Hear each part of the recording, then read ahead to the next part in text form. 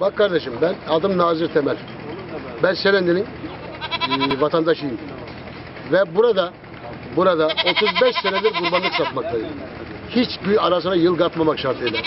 Ama ben 2 yıldır burada çektiğim ızdırabı hiçbir yerde çekmedim. Hiçbir yılda çekmedim. Şu anda şuradan yer kiralamışım. 15 gün önce parasını ödemişim. Fiş cebimde, makbuz cebimde olduğu halde günlük birer ikişer adam geliyor. Kardeşim burayı ben aldım. Kardeşim burayı ben aldım. Bugün gece 3 kişi geldi. Burayı ben satın aldım. Adamlar da para yatırmış. Ben e, bir haftadır burada hayvan satıyorum. Adamlar da mağdur durumda kalıyor, ben de mağdur durumda kalıyorum. Bu ne biçim adalettir? Bu ne biçim e, yönetimdir? Ben böyle yönetim ilk defa karşılaşıyorum.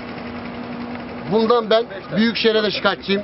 Bakanlığa da şikayetçiyim. Bunu neyse düzeltsinler. Şu anda hayvan pazarında topraktan başka bir şey yok. Şu anda hayvan pazarında doğru dürüst su yok. Şu anda hayvan pazarında bir tek tuvalet koyuyorlar. Bir kilometre yere. Bu e, üst baştaki alt baştaki vatandaş nereye gitsin? Sular desen, sular desen 100 metre arayla.